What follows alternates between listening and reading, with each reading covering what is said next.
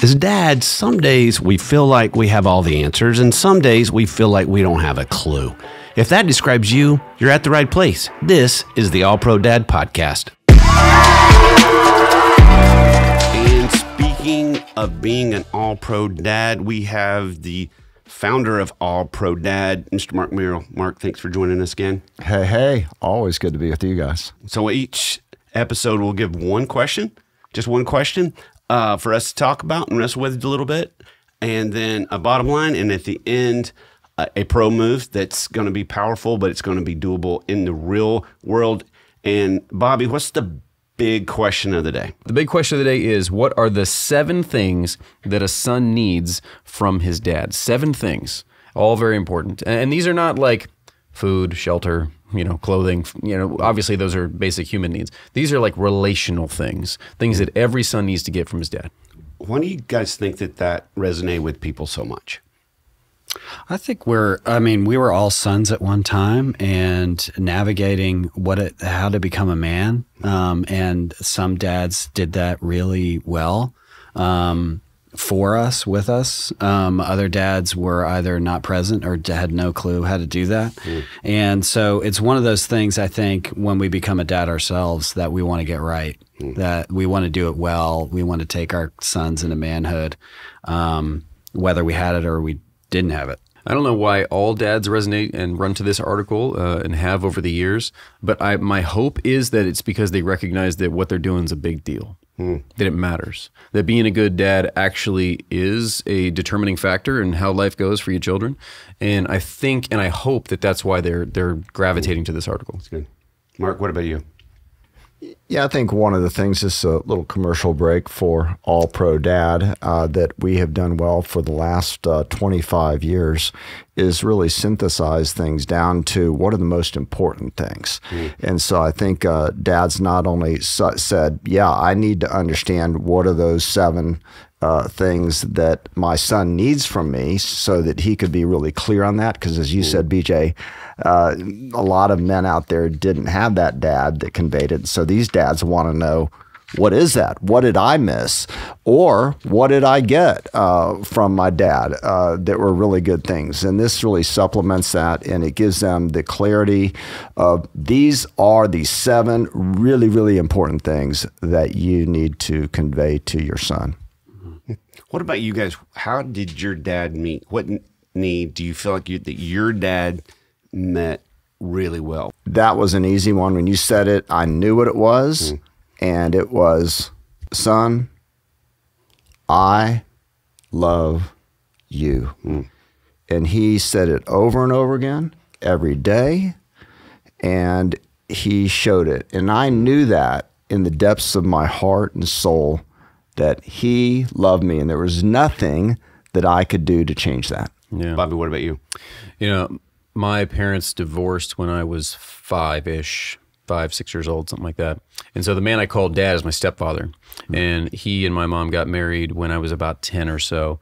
And what was interesting to me as I grew up, like I knew from a very young age, having gone through uh, or being a child of divorce, that like divorce was never an option for me. Like when I was old enough to get married, that that was just not going to happen because I'd seen how you know tough it was for one of my mom, but also for uh, the children. And so when my stepdad comes along, what I really learned from him and appreciated from him was stability. Mm. Like like a rock in your family. Like, all right, it didn't work the first time like there were some fractures here.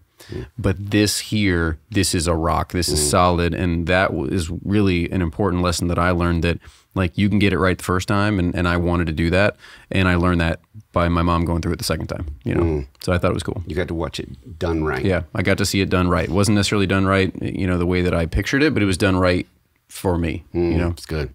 Hmm. Um, my dad was present. I think that's uh, like he was. He was. He did sales and would be gone for three weeks at a time. Um, and then, but when he was home, he would be at.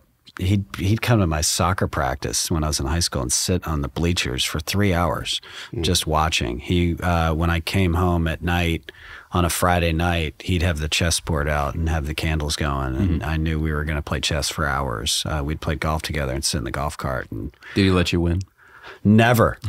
No, no. And I don't I don't let anyone win either. Like I don't let my kids win either. So when I finally did beat him, it was like I knew I had accomplished something great. Nice. So we're talking about the seven things. I think my dad, as we dive into these, did number one really well. He says he needs you to love his mother. Um, my mom actually passed away when I was 10, and my dad remarried when I was 18. And uh, I watched my dad, he loved my mother. Now, when you, my dad's a man's man, he's a fifth generation farmer. So everything you put with that stereotypically in your head, that was it. He was a man of few words. He was a hard worker. Um, not touchy feely, did not didn't know how to emote with words with me. Uh, but I'm telling you, I never doubted that he loved my mother. Very, very affectionate with her. He thought she was the funniest person alive. He's very introverted. She's very extroverted. And I could see, and you know, she, again, she passed away when I was 10, but I can remember the delight in his eyes when my mom would be making people laugh, which was quite often. Um, and so then he married a very different personality and he has loved her well. Like I've watched him change like styles. Like my my stepmom loves those cards from hallmark. You go who's still buying these? My stepmom. Uh, or who buys the stuff in the cracker barrel store? My stepmom. But my dad will go and get her these cards. I'm not sure he reads them but they look just like the ones she gives him. So he's a smart man. But I've watched him be a husband to two very different women. So I've I've watched that well. Uh, so the first one is uh, he needs you to love his um, his mother, BJ. I think you have a, a story. Yeah. So I, when I was in my twenties, I got to know these uh, a group of families really well. And at one point, one of the dads, and I wasn't there for this. I heard the story later. In fact, I heard it from the mom. Um, but the dad was disciplining the teenage boy, and um, when he left, the mom was like, "Okay, you know, you know how your dad can be. He can be a little like hard." And the son stopped the mom and said, "Hey, mom." I need you to be on dad's team. Wow. Wow. He, he's like, "Da- he said, Dad and I are going to be fine. Um, but it does more for me for you to be on dad's team than whatever, What whatever, mature thi- whatever this is. And, and so that, that's always a reminder to me that when, when the dad and the mom are on the same page, it gives a great amount of security to kids. And, and some of the guys listening are going to be like, well, great. My wife and I are divorced or, you know, like, or, or, and she's crazy and I have a hard time but you can do the best that you can to get along, to parent well together, to uh, you know, you just got to do whatever you can to kind of make that relationship right. Yeah, and the word here is love. He needs you to love his mother, and if you know you have separated and you're you're not divorced anymore, you can still love by respecting. I think that's a way that you can still show love. That's good. BJ, I love what what you said about uh, about that. They need you to love his mother, and that mom and dad need to be on the same team. And really, uh, for all these seven things, we need to say, well, why is that important? Well, one of the reasons why it's important is what you just said, and I, I think we need to really put an exclamation point on this: is that security. Hmm. It says, hey, mom and dad are on the same team. Hey, mom and dad are getting along together and they're working together. Therefore, hmm. I feel secure. I hmm. feel okay. I feel safe as a child. And I don't need to worry about that like all my other friends. And how mm. many of us has your child gone to you and said, after perhaps you had an argument, never forget it. One of my kids, actually, it didn't just happen once, happened several times. One of my daughters, mm. Susan and I had gotten into a disagreement, an argument, and uh, she came, I I was tucking her in bed that evening, and she said, Are you and mom going to get a divorce? Mm. And I said, Absolutely not. We are committed together for life. And by God's grace, that's exactly what we're going to do. And with that, she just put her head on her pillow and went right to sleep. She needed that assurance, Assurance, yeah. that things were okay, that she could rest securely, that mom and dad were always going to be together and they were going to be together for her. That's that's a great point, and because kids are seeing it with their friends' families, right? Like if it's not happening at our house, Mm. they're seeing Mm-hmm. security. Well, if it's happening to my friends, so that's good to even reassure. Uh, even if we know it's never an option, maybe maybe they don't. Number two is they need to see you fail and not just succeed. Yeah, I failed last week pretty pretty epically actually. Uh, I was trying to jump the battery on a dead battery on one car, and I hooked the stuff backwards. Like I didn't do the negative deposit. I, I wasn't paying attention. I was trying to do it fast. So our one car that was working, I tried to hook up the battery to the car that wasn't working and started a car fire on the top of the battery of the car that was working. And I was like, in the moment, I was like, I didn't expect this to happen. Now what do we do? And my son was standing right there because he's like, "Ooh, let me see how this works, Dad." And I totally blew it right in front of him. We got the fire put out. It wasn't a big deal. We got it fixed. We changed the battery, and everything was fine.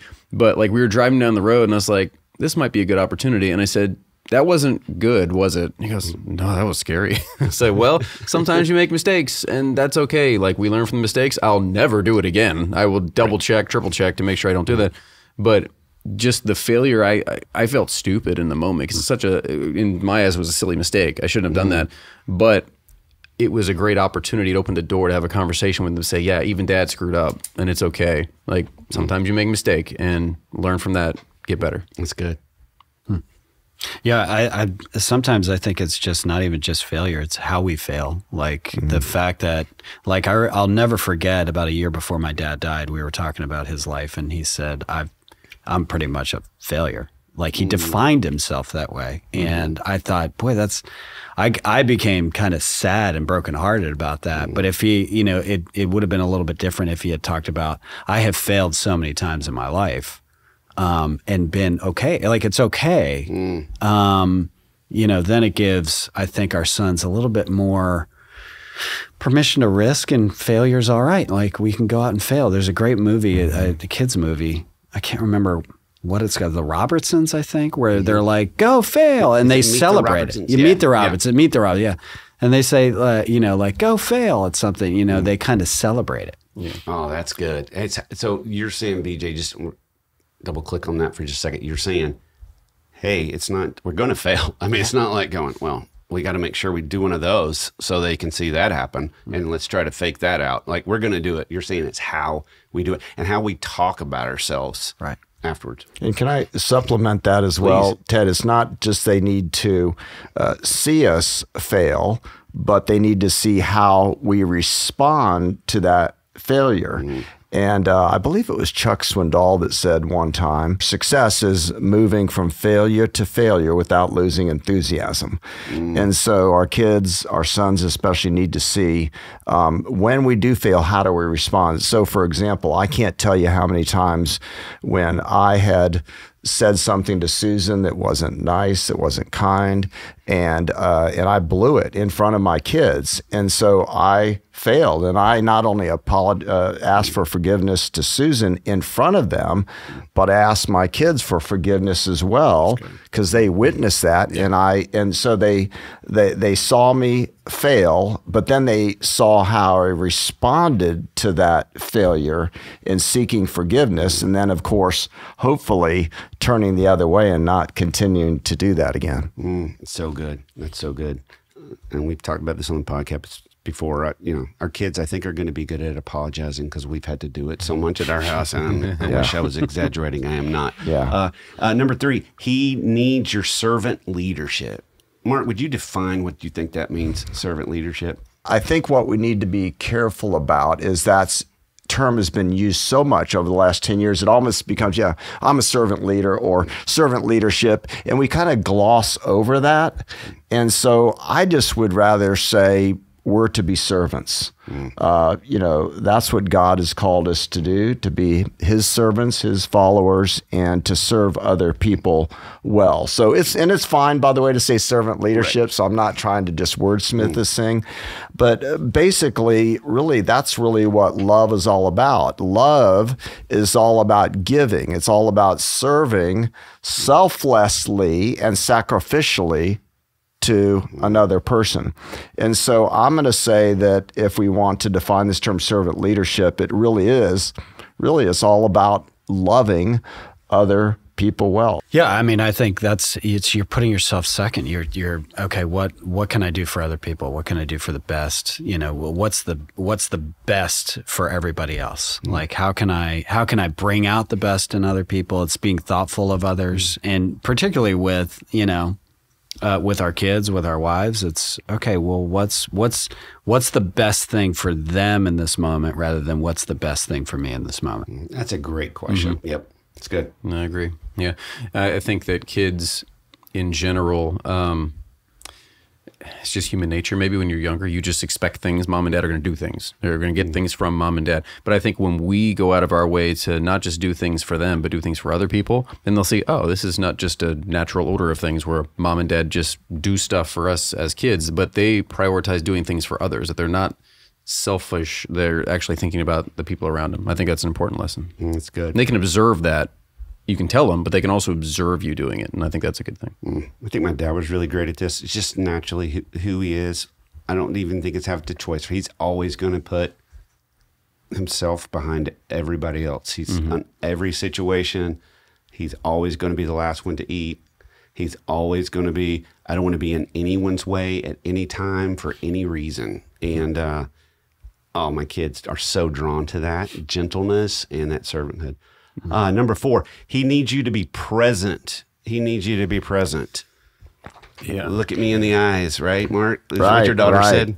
Face to face, eyeball to eyeball contact. You know, when I think the why behind this one, because I always think about why is that one important? Why does our son need this? Um, because what it's saying to him is what? You are important.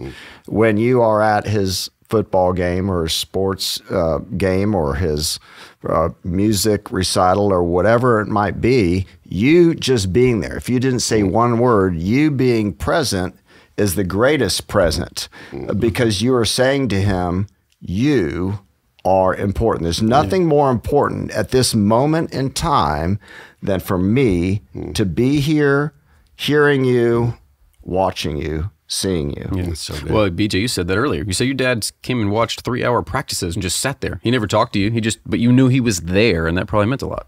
Oh yeah, yeah. He it, it's kind of funny. It wasn't just me; it was my teammates. My dad smoked these stogies, and uh, my teammates would be like, "Hey, your dad's here." I and, smell him. I mean, before before he before he even he would like before he even actually got there, they'd be like, "Hey, your dad's here." I'm like, "No, he's not." And then all of a sudden, you'd see him come over the hill and come to the, and I'm like, "Oh." You can smell him coming. Yeah. That is that is But, fantastic. but, but I think it's not just, you know, it's not just a physical presence, but it's this emotional presence that mm. we need. Like we live in the most distracted time in mm-hmm. history. Like that, we've got our phones, we've got all these things dinging at us. Well, that thing mm-hmm. demands your attention. Like this, this smartphone that we all carry in our pocket as an extension, like a third hand. Like it craves your attention. It demands your eyes. It's it's just this ever present thing, and you only have so much attention. Mm-hmm. You you've, you have the capacity to give 100% attention to something. We like to think we can multitask. We're just not good at it. We just can't do it. So any percentage of attention that's not on your kids is you're giving less of them, less to them than they should get, especially in the same room. You know, how many times have, have we sat there and uh, someone's talking to us and we're not really focused. We're thinking about something else. Or we're paying attention to a phone or whatever. And you look up and you're like, oh man, you, you were talking to me, weren't you? and I, I do it all the time. And so I don't want my kids to think that I have more of a relationship with my cell phone than I do with them. And so I, I totally agree. We could put that thing away um, as often as possible. And uh, if you want to take it out when they go to bed, that's probably safer. Um, but I don't want them to have a relationship with the top of my head. no, no, that's that's a great way to say it. My daughter, by the way, the other day, um, she, we were all sitting around the TV, all four of us. And uh, all of a sudden, my daughter goes, "This this generation and their phones. This is my 13 year old. This generation and their phones." And my wife and I look up, and we're both on our phones, and our kids are not. And I was like, Ouch. Oh yeah, that's dagger. Dagger. Oh man, it's it it's true. You know, one of the rules we have is not being on the phone um, when we're in the car with our kids, uh, especially with guys. And one of the things I've seen with research uh, is that with guys, when you say "I need you to look at me," it starts flooding their body and their brain with cortisol. It makes them angsty, and the more you say "look at me, look at me, look at me," uh, the more angsty they get. And so there's something about and guys. This is true with guys and their wives in the car. Guys, when they're not having to look at you, you'll have the best conversations. You know, guys connect shoulder to shoulder. So you're going down the road, you have those mm-hmm. conversations with mm-hmm. them. And so I thought, I can't have those shoulder to shoulder conversations with them if I'm on my phone. So, and somebody told us years ago, just, just don't be. And it's amazing if you can have that car time back. Hmm. Um, and they've even said to me, they've even said, Dad, you can pick it up. You can pick it up. And I'll pick it up when it's their mother, but nobody else. Number five, he needs you to discipline him in love. The hmm. discipline part is easy, right? yeah. I think the in love part is yeah. is the part I have to because I the the knee jerk reaction with discipline and that's those are some of the biggest regrets is when I get frustrated with them for doing something I, quote unquote that I think is very wrong or wrong. And so I think it's then love. And again for me it's the space. You said or I need to cool down. And that's for yeah, me discipline and anger is my spiritual gift. Yeah. Yeah. yeah. Yeah yeah. Oh, it's really quick. If you think about all these seven things, this one is really, really focused on us as a father. I mean, because we gotta, we've got to do this one right. Uh, God disciplines those he loves, the Bible says, and so a father is to do the same thing. We discipline them because we love them, and we're disciplining them to really ultimately make disciples uh, to yes to be good men ultimately to be honorable men but also um, to walk in christ's steps to walk with god ultimately to be a disciple and to show them how what discipline and love looks like That's good. That's so good. All right, the next one here is he needs your love regardless of his choices. one of my sons, uh, and he wouldn't mind me sharing this. I've shared this story with permission before. Is my son Grant, um, who came over and joined our family from Russia. He grew up uh, for nine years without having a father involved in his life. He grew up in the woods, and he he came to us as a very angry uh, boy at nine years old, and so I'll never forget it. He uh, he was yelling and screaming in his room. He just was mad about something. And I walked into his room and I was like, What's going on? What's wrong? And whack across the head with a lacrosse stick. And, and I got in his face, my eyes in his eyes, my nose touching his nose. And I said, Grant, I love you no matter what. Do you hear me? No. And he's, mm. You're not my father. You're not my father. I said to him again, Grant, I love you no matter what. I will never leave you. I will never abandon you. Mm. Just like Jesus, he will never leave us or forsake you, us. I will never leave you. I love you no matter what. There's nothing you can do to separate you from my love. And so he then started calming down and calming down. And it wasn't the only time that happened. Well, the lacrosse stick, the only time, but it wasn't the only time. But there were many times when I had to get in his face and say, I love you no matter what. There's nothing you can do. Nothing. Mm. Nothing you can do to separate you from my love. And finally, after years, not weeks or months, he believed me. He believed me and he took it in and he embraced it. And that was an story. amazing, mm-hmm. amazing thing that God did in his life. But every one of our sons has to know, our daughters has to know, mm-hmm. We love them no matter what, no matter what bad choices they make. And Which they will. We all made cho- those choices, right? We've all made cho- bad choices. No matter what they do, there's nothing that can separate them from our love. They have to know that it, mm. it is completely, unequivocally unconditional. Mm, so good. And number seven, he needs you to affirm him. How do we affirm mm. our boys? What does that look like? words aren't neutral. They either build up or they tear down. And we had something funny around our family as our kids were growing up. We'll say, do those words build up or do they tear down? And my kids would say, and I'd say something that was not good. And they say, Dad, those do those words build up or do they tear down? So they would correct me many times. And so basically, we need to give those breathe life-giving words into our sons. They need to hear from us things like, I'm here for you. Hmm. I'm proud of you. I believe in you. I want what's the best for you. Hmm. You've got what it takes. Hmm. God's given you every gift that you need as a man. You've got what it takes. You've got what it takes. They need to hear that continued affirmation from us. And, and by the way, on what you said, it's not just saying, hey, I'm proud of you. And that's good. Don't get me wrong, that's good. But I'm proud of you because when our next door neighbor, elderly neighbor, um, she dropped her groceries on the ground, you were the first one. You ran out there, you picked up her groceries, and you brought them into your house.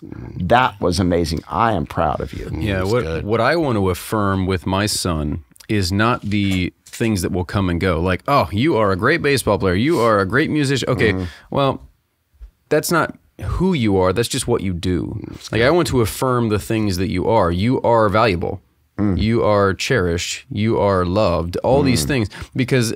A lot of the other stuff that they maybe find identity in won't last forever, but the stuff that they should find identity in, child of God, someone who is beloved by your family, that needs to be affirmed. And they need to hear that over and over and over again so that their identity is wrapped up in what really matters and what will last, not the stuff that's fleeting. I kind of see a part of the road being you are a man, kind of this affirmation of who they are as that they have grown into a man and that there's a defining moment where we tell them that, where we tell them you've arrived at this place. Um, I never really had that. My dad passed away when I was 24. There wasn't a ceremonial moment where he kind of told me that. And so there's just always this question mark like, am I there? BJ, I think that is really critical, and uh, we've written some blogs on that. About uh, we, you know, it's called many things rite of passage in the Hebrew tradition, of course, Jewish tradition. Uh, there's the bar mitzvah. bar mitzvah and the bat mitzvah, and in the Christian tradition, there's that rite of passage. Some people call it, and it's really critical because without that, without that, without that. Uh, period on that point in time at the end of okay this is the end of this sentence. Now you're starting a new sentence or chapter in your life um, that you are now a man. Uh, that's really important for uh, a son to hear. And for each of our children sons and daughters we have had that rite of passage ceremony I'm curious, Mark, when what age were they when you had that ceremony with your kids? it Or did depended- it did vary based it, on it kids? did depend on the child, but generally speaking, it was during that time frame where the 11 to 13 years old. It was kind of uh, around that time of of puberty. I uh, wonder because my each of our daughter's 12, my oldest daughter. I'm like, that's a great idea. Like, at what point does my son or daughter need to have that experience? Is it middle school? Is it as they go into high school? It, it's a really cool idea. Yeah, if, if I was if I was making a decision and I had a choice to do it later or earlier, the ear earlier would be. But they have to be able to understand it. So I think that time frame. And by the way, uh, can we give a little commercial that we do on the allprodad.com website? Absolutely. Have those resources uh, and actually the actual ceremonies of exactly what you can do. We can put to that in the have show notes of the yeah in the show notes. That Yeah. would be awesome. Well, we always want to give you a bottom line, and we want to make that simple. And today's bottom line is your son needs you, right? And you know this. This is something you already know. Uh, we're not telling you anything you don't, but just this reminder again and again. Boy, they need us. And even when they're pushing us away, right? Like Mark, even when you don't love me, you're not my father, those kind of things are coming out. Uh, they don't know right now how much they do need us. They don't know how to communicate that. They don't have the vocabulary for that, but they, they need us. Uh, and hopefully they can look back one day and go, man, my dad was there. He, he loved me. He wasn't perfect, uh, but he loved me. Bobby, as always, we give a pro move. We want to give you something that's simple, but we also want to give you something that's powerful. So, what's the pro move of this episode? Yeah. You want to be an all pro dad? Here's the pro move you can do this week. It's short and simple. This week, focus on one of the seven things. Don't try to do all of them. I mean, you- you'll overwhelm yourself. if You're trying to do all of them in one week, but just focus on one thing that your son needs. We'll read the list again because it's such a good list. He needs you to love his mother, number one. He needs you to fail and see you fail, not just succeed. Number three, he needs your servant leadership. Four, he needs you to be present. Five, he needs you to discipline him in love. Six, he needs your love regardless of his choices. And seven, he needs you to affirm him. Pick one this week. That's your all pro move. Mm, that's so good. Doesn't it make you want to kind of rush out and, or at least Fail. text your boys right Just now? fail. Just Yeah. rush right on out and fail and get a gross dad text back. yeah. Mess that battery up. That's right. Yeah. I love that. Well, thank you guys. Uh, again, always teaching me. Uh, and thank everybody that's listening right now. We hope today, like every episode, has encouraged you to be an all pro dad. Thanks for listening to the All Pro Dad podcast. All Pro Dad is the fatherhood program of the nonprofit Family First. Along with our motherhood program, iMom, we exist to help you love your family well. Subscribe to our daily email, the All Pro Dad Play of the Day, by going to allprodad.com slash subscribe and get daily powerful and practical fatherhood tips in your inbox. The All Pro Dad podcast is hosted by me, Ted Lowe, produced by Bobby Lewis.